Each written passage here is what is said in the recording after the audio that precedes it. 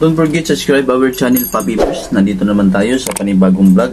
Lalo na dyan sa mga subscribers ko. Mag-ingat kayo dyan palagi. Araw-araw, gabi. Sana magserbisyo tayo sa tayo sa ating Panginoong si Kristo. Kasi siya ang nagdala sa ating buhay.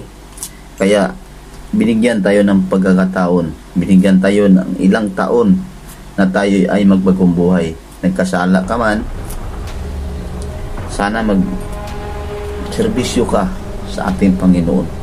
Magkasala ka noon, magbagong buhay na tayo ngayon. Mga favors, ito, isishare ko sa inyo. Ito ang pinakamaganda sa buhay natin. Kasi, ito ang nakasulat sa librong orasyon na sinulat sa ating Panginoon. May tao siyang inutusan, si Lucifer, na sinulat lahat ng mga orasyon kung paano ligtas ang iyong espiritu paano sabitin yung ating Panginoon na siya'y buhay na walang hanggan, walang laman, walang buto, spiritual yung ating Panginoon. Ito, Baby Birds, ito ang pinakamalaga isi-share ko sa inyo. Bawat kayo nagbigay sa isang uh, orasyon na ito, huwag munang kalimutan yung ama namin, ang Paginoong Maria, luwalhati sumasampalataya. Ama namin, ang Paginoong Maria, luwalhati sumasampalataya. Ama namin, ang Panginoong Maria, duwalhati sumasampalataya. Tatlong bisis kayo magbigkas ito mga papibers.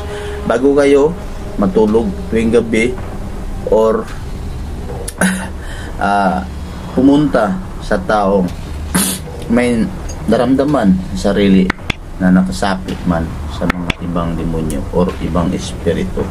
Ito po ang bibigkasin sa nakasulat sa inutusan sa anak sa Panginoon na si Lucifer, sinulat niya itong libro na to para makipag-share sa mga taong walang kalamalam. Ito, bibigkasin ko itong nakasulat sa librong orasyon, mga pabibers. Sambitin ito ng tatlong bisis bago matulog sa gabi. Sambitin to ninyo mga pabibers bago matulog sa gabi. tatlong bisis ang nakalagay dito tatlong bisis. Matam makam mitam. Mikam matum luam.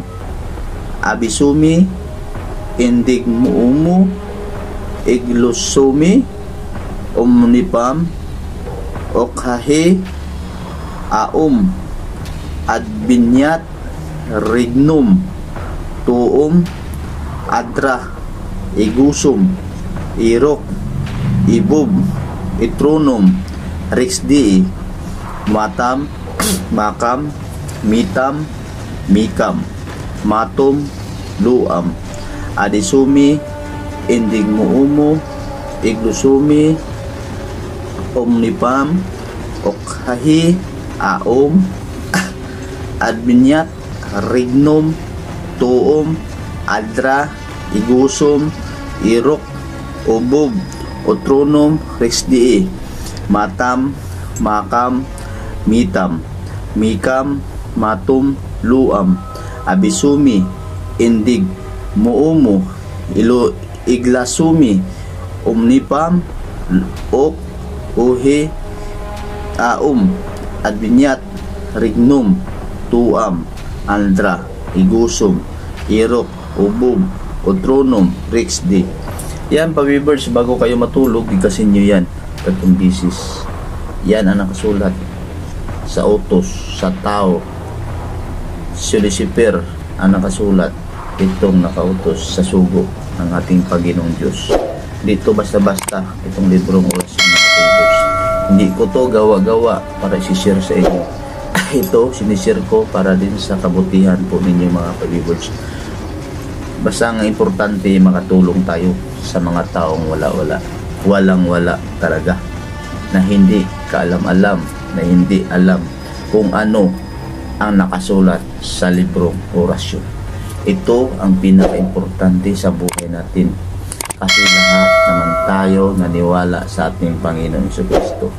Yung mga taong kampon sa kadiliman, may sariling mundo yan sila. Pag once yung taong sinasakbian or kinukulam or binigyan man ng sakit yung taong walang kalam-alam, kawawa talaga. Kaya habang tayo nabubuhay sa mundong ito, magserbisyo tayo sa Panginoon. Kung ano ang nakalagay sa nakasulat dito, dapat natin sundin. Inibigay ko to para sa inyo, para makatulong ako sa mga taong hindi alam kung ano ang gagawin nila sa buhay. Sundan lang po ninyo ito para pa words, isusulat ko sa screen. Kailangan ninyo istadihan po ninyo. Alam ko po sa inyo na busy kayo trabaho pero may oras naman kayo na para magbasa, para tumitingin sa nakasulat sa librong orasyon.